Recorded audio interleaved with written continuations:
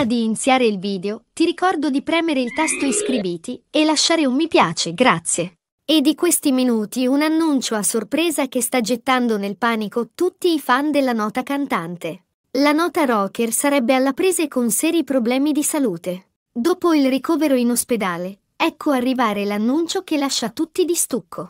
Loredana Bertè ha vissuto un momento di grande apprensione proprio prima del suo concerto a Roma.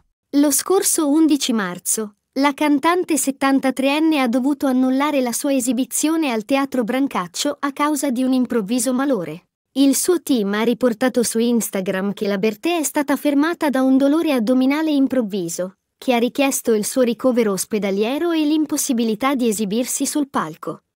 Questo ha segnato un momento difficile per la cantante, che si stava esibendo nel suo tour iniziato il 5 marzo a Milano, dopo il suo successo al Festival di Sanremo con la canzone Pazza.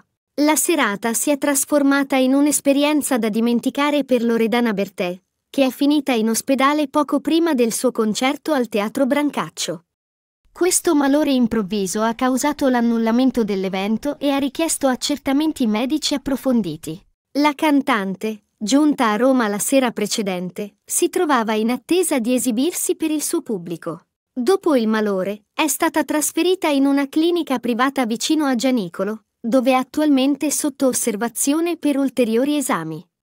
Non è ancora chiaro se il malore attuale sia collegato ai precedenti problemi di salute o se ha origini diverse. Il suo prossimo concerto a Torino è in programma per la settimana successiva, ma al momento è incerto se le sue condizioni le permetteranno di esibirsi. La data annullata al Brancaccio verrà recuperata il 15 maggio 2024.